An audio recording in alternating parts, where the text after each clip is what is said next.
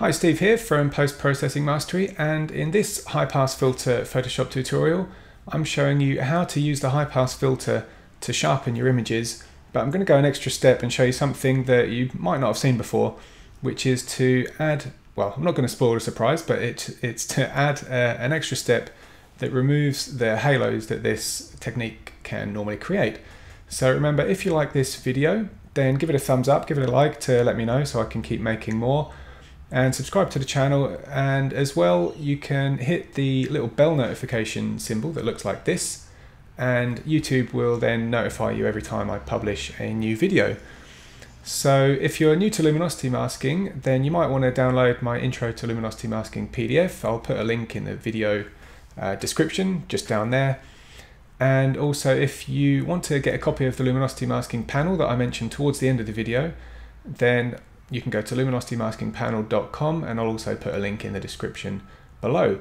So yeah, I think that's all I wanted to say before we get this tutorial started. So with that said, let's get on with it.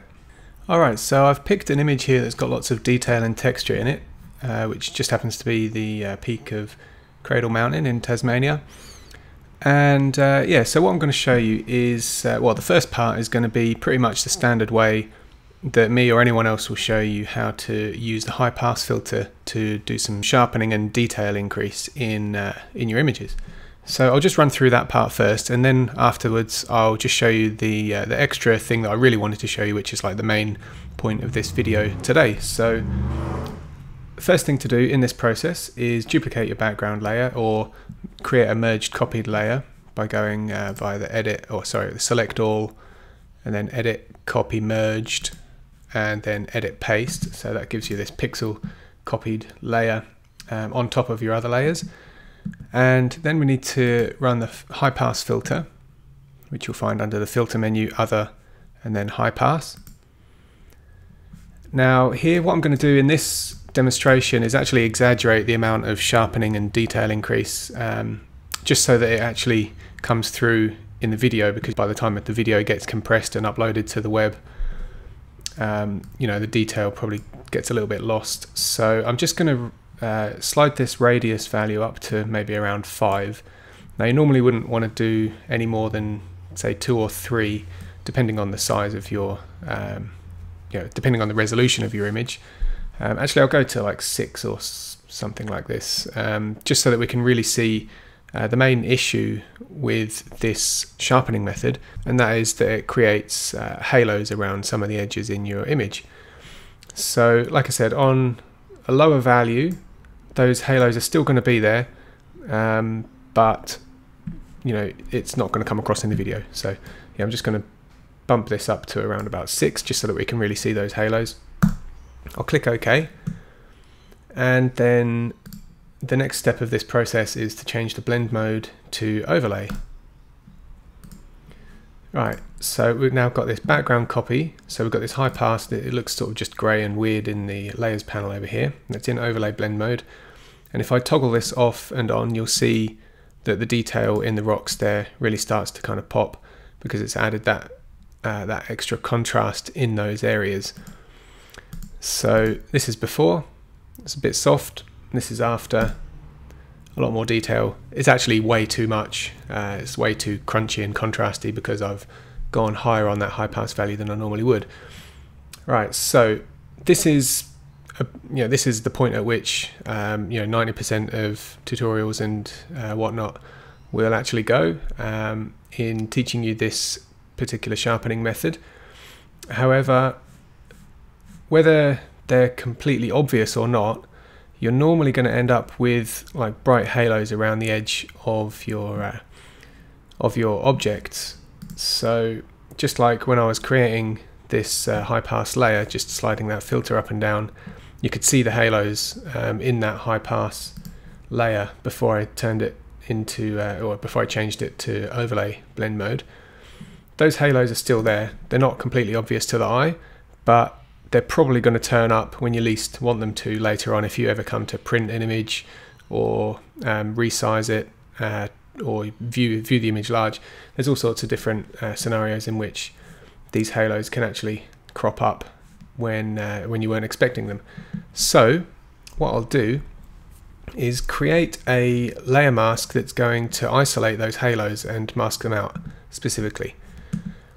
The way that we're going to do that is to create a luminosity mask. Now, if you're brand new to luminosity masking, then it's probably worth you downloading my uh, intro to luminosity masking and uh, well there's a link in the video description just below this video um, so you know if you're brand new to luminosity masking then you can either you know go ahead and get started learning that just so that you kind of understand the process a bit more or if you just follow these steps and just can remember these steps I'm about to show you one by one and just do exactly the same thing every time then you'll be able to follow this process without necessarily understanding exactly what's going on but at least you'll be able to do it so um, yeah, the first thing I'll do, I'll just literally run through the process. And if you do, if you are familiar with luminosity masking, then this will make sense to you. If not, then just follow along. So over into the channels panel. On a Mac, I'm going to hold Command. On a PC, that would be Control on the keyboard. And click the RGB channel. And then I'm going to hit the Save Selection as Channel button down here.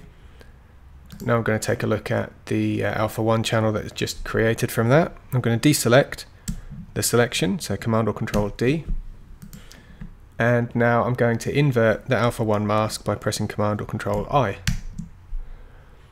So what this shows us is um, kind of a weird inverse black and white version of our image where the uh, the brightest parts of the image are actually the darkest parts in what we're looking at now.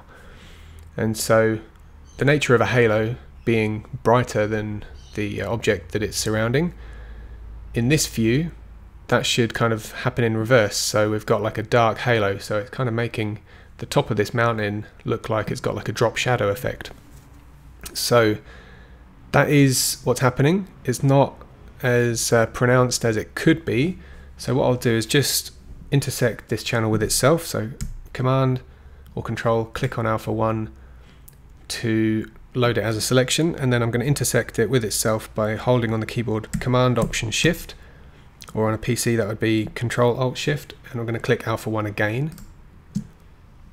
And then I'm going to save this new selection as another channel. So deselect and now have a look at Alpha 2.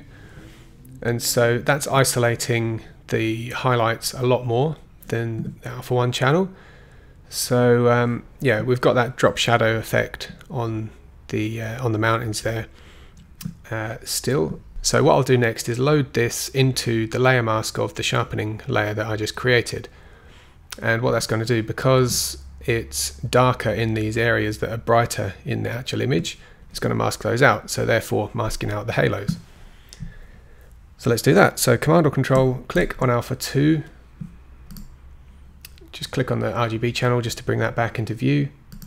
Back over into layers, and because we haven't yet got a layer mask on this uh, high pass filter layer, when I hit the add layer mask button with this selection active, it's actually just going to load that selection straight into the layer mask.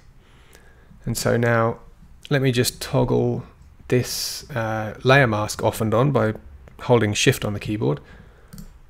And so that just disables it. And if you look closely, you should see those halos, especially if you concentrate around this area in the middle here, those halos are disappearing. Now, it does have the side effect of actually reducing the kind of over sharpened uh, effect of this uh, overlay layer, of this uh, high pass filter layer. Um, so, you know, that also does give you a bit more leeway to push that high pass filter a bit more than you would normally. Uh, but yeah, so what we have here, the net effect of this whole thing is that we have a layer now that's sharpened and added detail to those mountains whilst eliminating any halos that that process would have caused. So if um, yeah, if you want to go a bit further than this, uh, you know, if that's not quite sharp enough for you, then you can maybe just double up this layer by dragging it down into the new layer um, uh, button down here and that will just duplicate. And so again we've now retained or we've brought back that kind of over sharpened look to the main image but without those halos again. So let me just show you the before and after with both of those now So this is the original, and this is with the over sharpened but without halo version. So that's really the uh, crux of what I wanted to show you. Now, you know, if you can uh, follow along with those steps, uh, that's all good. Uh, just something I will let you know about if you haven't seen it already. In my luminosity masking panel, I do have a button that does that whole process for you in one click. So let me just show you that. So let me just uh, delete these uh, sharpening layers. And if you open the finishes tab in my panel here, we have this sharpening method one button. So I'll just hit that and let it do its thing.